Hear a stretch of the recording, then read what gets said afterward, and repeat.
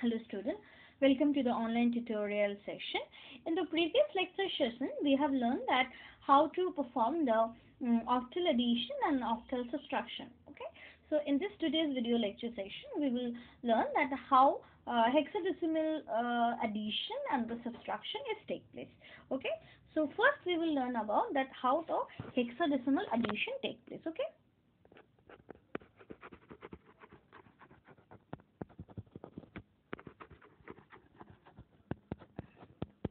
Okay, so I hope you remember that for a octal number system for the additional addition we have uh, uh, prepare a uh, chart that is column okay? That is a table we have prepared. So that table will be there but the column name will be uh, slightly changed okay? So this will be um, uh, decimal for the same this d for decimal. And this for second one for the octal number for in case of octal number system. But in case of hexadecimal number system that will be hexa. And then it is uh, quotient that is carry and remainder that is sum. Okay? So this tables is like that. We have to for addition for octal addition for hexadecimal addition we have to build this table okay there is an option as we uh, you can opt for it but is that you it is it is not necessary to uh, draw this table. But for initially uh, try to practice by building up the table. When you uh, become adaptive when the situation you are adaptive to this addition then you can uh, you can do or you can uh, there is an option that you cannot write down this one. Directly you can do the addition it is up to you. But at initial days you try to practice in this way. Okay? So now uh, i'm starting with this uh, very initial uh, small sum very initial sum. That is very easy also. Okay? So it is written. Okay i'm using the red ink that will be uh, easier for you to understand. That is 69 base 16 need to be added with 34 base 16 okay? So 69 i'm writing over here and 4 and 3 okay? Let's start addition. So 9 plus 4 i hope the 9 plus 4 the sum is 13 so in case of hexadecimal number system you remember that we cannot write 13 okay? Because uh, 10 onwards we have an alphabetical order. That is 10 means a 11 means b 12 means c and 13 means d so here this sum comes 30. So we will write down here D. Okay. And 6 plus 3 it is 9. This is already also comes under this uh, hexadecimal number system. So it is 9. So 9D base 16. Okay. So answer is 19D base 16. Okay. Uh, it's a very easy one. I hope it is clear to you. Now I am moving to the next sum. Okay. That is uh, 5 7 2b we have to add that is 5 7 2b base 16 we have to add it with 4 9 6 8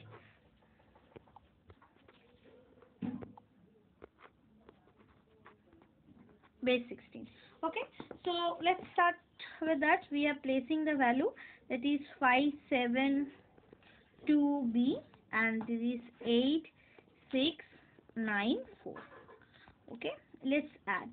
So b plus 8 right? B plus 8 b means what?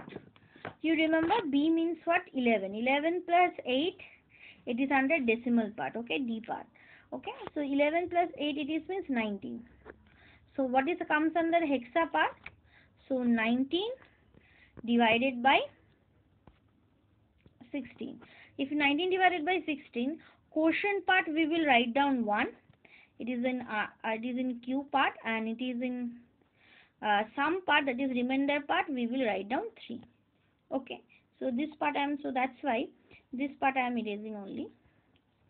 So sum part I have to write down 3 in the quotient part it is 1 right? So again 2 plus 1 it is 3 3 plus 6 it's 9 very good. 9 is comes under then start with addition 7 plus 9 if you add 7 plus 9 answer is what? 16 so 16 if you try to divide it by 16 so what will happen? In the d part it is 7 plus 9 that is 16 So in the hexadecimal part, 16 divided by 16. So quotient is uh, quotient is 1. Sorry, quotient is quotient part. I will not write over. Quotient is 1. This is here, and sum part uh, and the remainder part is 0. So quotient I am writing over here. That is carry part 0. So 5 plus 1 it is 6. 6 plus, uh, 4 it is 10. 10 you cannot write down 10 directly. I am writing as A. So the answer is A093. So it's the addition. Okay. Next addition very quickly. We are clearing the page and very quickly we are writing down. That is uh, 9A5 16 plus 9 4C 16. Okay. So uh, I'm doing this. It is 9A5 and it is 9 4C. So C means what you remember always that C means what? 12. So 12 plus 5 it is 17. So 17 if you divide it by 16 the sum is uh, for the quotient is 1 and sum is also 1. You clear? So 1 I am writing over here and 1 I am putting over here. Okay, A means what? 10. So 10 plus 1 it is 11. 11 plus 4 it is 15. 15 all means E. E and F. Sorry, 15 means F. So F directly I am writing over here. 9 plus 9, it is 18. So 18 in decimal, 18 divided by 16. 18 divided by 16, quotient is 1 and remainder is 2. So 2 I am writing over here and carry 1 is there. If there is no other digit is left to add, then we will put it forward to the carry. So this is the addition part. Okay. Now we are uh, quickly moving to the next part that is the subtraction part hexadecimal subtraction part. Okay? So quickly uh, the very easy one we are taking very easy sum that is it is written 9c8d base 16 minus 25ab okay i'm arranging 958d B A it is 5 okay it is 9C I'm writing so that's why C 2 5 2 so D means you remember D means 13 okay so you have done B means 11 13 minus 11 it is easily done it is 2 very good. It is 8 is there 8 and A means what? 10 A means what? It is 10 so 8 minus 10 cannot possible. From here I am taking borrow. That is 16. So it becomes B. So 16 plus 8, it becomes 24. 24 minus A means 10. So it becomes 14. 14 means again, it is 14 means if you are find out, 14 means what? E. It's 18 minus 10. Uh, if you add, it is 16, 17, 18, 19, 20, 21, 22, 23, 24. Okay. So you write down this one. Okay. And uh, next what will happen? So it has subtracted B. B means what? B means 11. Okay, 11 uh, is there. So if you subtract 11 minus 5, so answer becomes 6. 9 minus 2, 7. Clear? Now we will move forward to the next sum.